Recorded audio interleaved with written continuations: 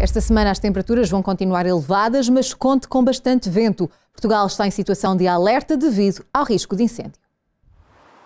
O mês de agosto já arrancou com bastante calor e muito vento e é um cenário que não deverá alterar-se ao longo desta semana.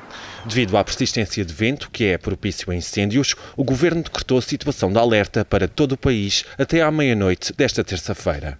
Está proibida a realização de queimadas, fogo de artifício, trabalhos florestais com recurso a algumas máquinas e ainda a vedação do acesso a espaços florestais.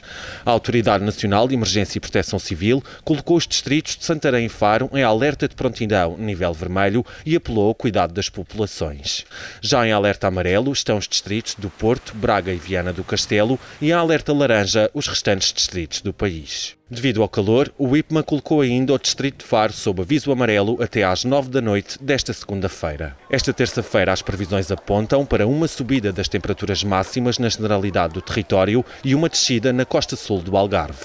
É esperado que as temperaturas continuem a subir até quinta-feira para valores acima dos 30 graus em todo o país. Mais para o final da semana, na sexta-feira, o vento dará finalmente tréguas e as temperaturas deverão manter-se elevadas, já a prever um fim de semana de calor e praia.